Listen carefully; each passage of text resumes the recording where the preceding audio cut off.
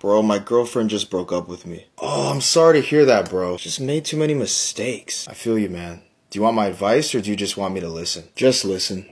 I just kind of need to get my mind off it, you know? Okay. You want to see a movie tonight? Some of them look pretty funny. Yeah, that sounds awesome. And I appreciate what you did, by the way. What do you mean? When I was upset, you asked, do you want my advice or do you want me to listen? This makes people feel good because sometimes people don't want someone to fix their problems. They just want someone who will listen to them and comfort them. You're right, and you just earned another follower.